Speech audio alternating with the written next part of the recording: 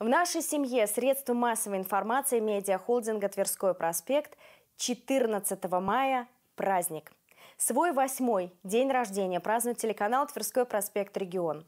Он стал первым в истории телевидения Верхневолжья, кто получил статус обязательного общедоступного телеканала. За эти годы телеканал множество раз становился финалистом Всероссийского телевизионного конкурса «Федерация» и национальной премии «Страна», победителем областного конкурса профессионального мастерства «Грани» и фестиваля региональных телекомпаний «Территории хороших новостей».